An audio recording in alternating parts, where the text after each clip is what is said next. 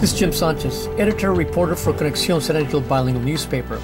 Check out our website for headline news published in this week's April 16, 2015 edition and online. Homecoming, it's a family affair. When education rewards, area schools compete in drill meet.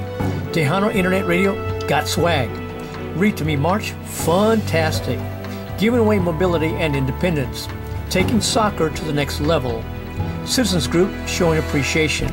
New Event Center in Del Rio, promoviendo la cultura hispana. For details on these San Angelo and Del Rio headlines, pick up a Conexión San Angelo bilingual newspaper. It's published on a weekly basis and comes out every Thursday.